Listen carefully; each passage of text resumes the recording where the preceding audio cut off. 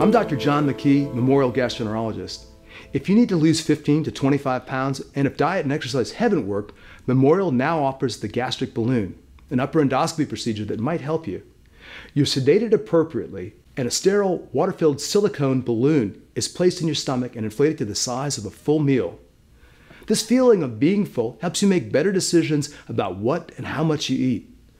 Six months later, after the weight loss has been accomplished, the balloon is endoscopically removed.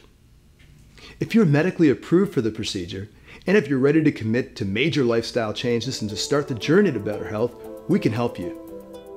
To learn more about weight loss with the gastric balloon procedure, call 228 872 7699.